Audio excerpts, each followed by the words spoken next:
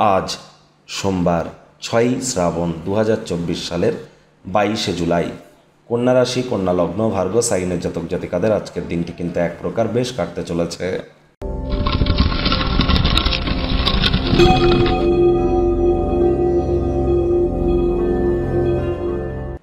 চলছে শ্রাবণ মাস।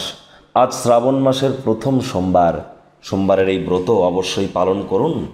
যদি যদি দেবাদিদেব মহাদেবের বিশেষ আশীর্বাদ আপনারা পেতে চান, বর্তমানে কিন্তু ভগবান হরিবিষ্ণু যোগ নিদ্রায় আছেন, আর দেবাদিদেব মহাদেবের শঙ্কর রূপ বিশ্ব পরিচালনা করছেন। এজন্য শ্রাবণ মাসে শিবজির নাম জপ ধারণা করবার জন্য দুর্দান্ত একটি সময়।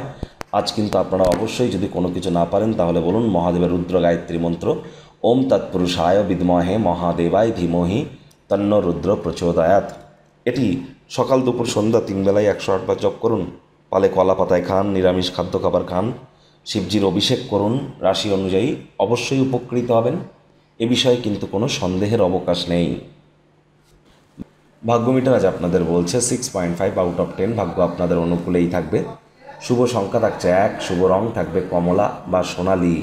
আজ কায়িক পরিশ্রমের কারণে শরীরে ক্লান্তি, আপনারা অনুভব করতেই পারেন। ওজন বুঝে ভোজন গ্রহণ করুন, রাস্তাঘাটে সাবধানে গাড়ি ঘোড়া চালান। কোনো প্রকার নেতিবাচক অনুভূতির আশ্রয় ভুলেও যেন গ্রহণ করবেন না। হতাশা কিন্তু আপনাদেরকে গ্রাস করতেই পারে। অর্থগত ব্যাপারে আয় ইনকাম আজ আপনাদের বাড়বে। আর্থিক লেনদেন বিনিয়োগের জন্য দিনটি আপনাদের পক্ষেই আছে। নতুন উদ্যোগ পরিকল্পনার পাশাপাশি নতুন নির্মাণ কার্যের শুরুয়াত করা যেতেই পারে। তবে তাড়াহুড়ো হটকারিতা একদমই কিন্তু নয়। চাকরিজীবীদের অফিসে কম কথা বলে কাজ বেশি করতে হবে। মনের থেকে মস্তিষ্ককে বেশি দাম দিতে হবে। কোনো প্রকার অফিস পলিটিক্স বা গসিপিংয়ের অংশ যেন হবেন না।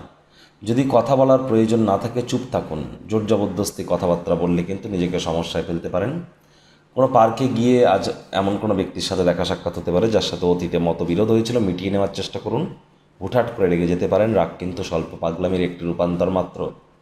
রাজনীতিবিদ যারা আছেন, জনসংযোগ বৃদ্ধি করুন, কঠোর কায়িক পরিশ্রমের কোনো বিকল্পই কিন্তু নেই।